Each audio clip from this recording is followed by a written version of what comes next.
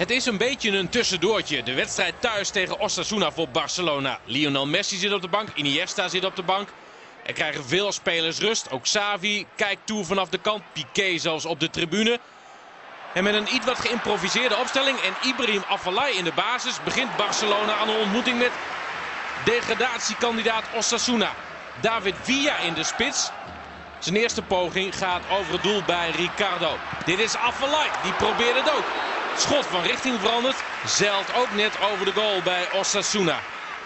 Het loopt niet heel vlot bij Barcelona vanaf het begin. Maar dat kan ook niet met zoveel wijzigingen. Jeffren heeft wel een voorzet op maat in huis voor David Villa. En eindelijk, eindelijk, eindelijk scoort hij weer eens. 20 februari was het voor het laatst. Hij begon zichzelf al enigszins zorgen te maken. En Piqué wordt doodgeknuffeld. Maar de opluchting bij Villa is het grootst. Toch krijgt ook Osasuna wel degelijk kansen. De vrije trap van Nekunan bijvoorbeeld. Xavi en Iniesta, die laatste speelden tot nu toe alles, kijken stoïcijns toe. Maar maken zich ook nog wel wat zorgen als in de slotfase van de eerste helft Osasuna wel heel dichtbij komt. Valdes redt.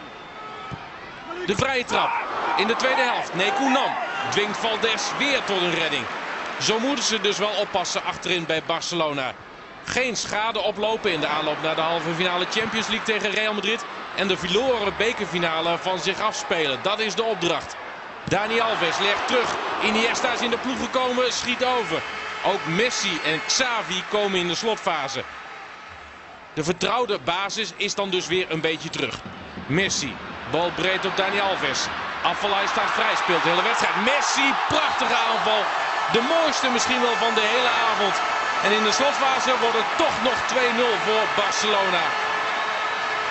Heel sprankelend is het allemaal niet.